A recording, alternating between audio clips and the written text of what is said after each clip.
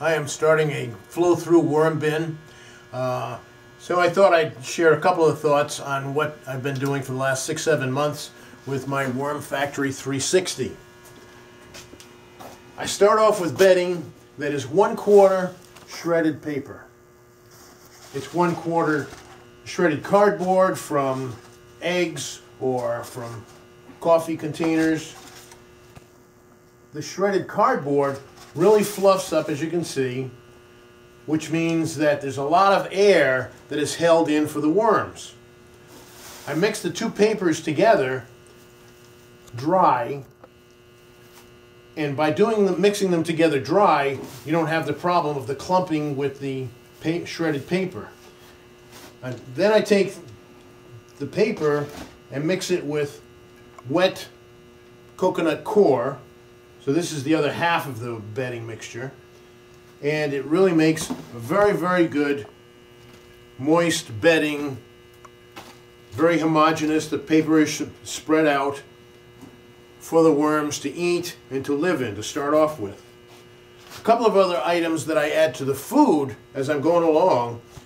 One thing is eggshells. I mention that only because I grind up the eggshells in a coffee grinder to make sure that I don't have large pieces of eggshells that are lasting three, four, five months.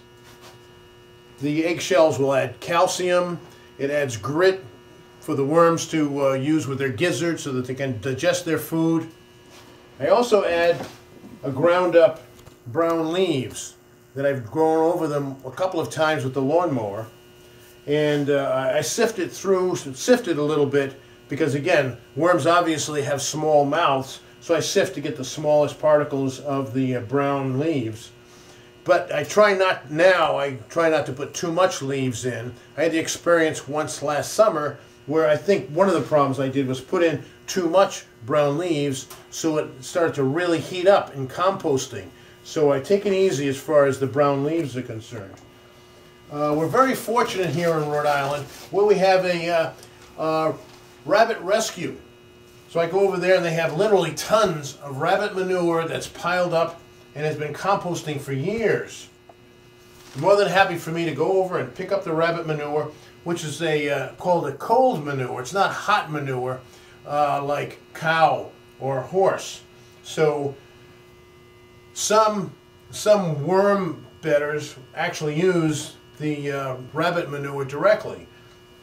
But I just, I've been adding it here to my, uh, the, the food. Uh, I started off seven months ago with a Worm Factory 360. You can get the Worm Factory 360 from the Worm Ladies of Charlestown in Rhode Island. You can also buy the coir. You can buy worms from these gals. Uh, they do a terrific job of going around Rhode Island, educating in schools and in farmers markets. Um, I start off with seven trays with 2,000 worms. So now, you know, I've probably got, I'm guessing about 10, 12,000 worms that are heavily populated in the uh, worm bin. So since these is pretty well filled, I started up uh, my flow-through worm bin. I wanted to document this before I really put all the food into it. So as you can see, I used this uh, uh just a regular rack, metal rack that has uh, the racking that was on it. I was a little concerned with the spacing. It might be too too large to hold the compost once the couple of sheets of once the couple of sheets of paper have uh, gone into the compost. so what I did was I also added on some metal uh, green uh, mesh, which is about a, a, half an inch. Now I know that by itself, this half an inch probably would be too small for the compost to go through. So I've got a an aluminum blade. it was a metal piece that I uh, beveled. I put an edge on both sides, and I beveled it up to give about about a half an inch space between the grate and the blade. So I'm going to be slicing it off I, am hoping about six months from now, slicing off the compost from the bottom. I use cable ties, nice and simple to tie it up with. The uh, bin itself is four and a half feet long Uh, it's a foot and a half deep and two feet high. So six, seven months from now, once this gets full, the worms, most of them should stay in the top six, seven inches.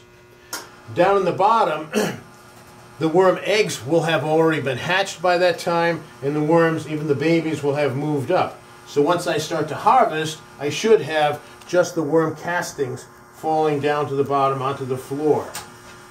So what I'll do, I've got my boat hoist, the winch, to pull the blade across.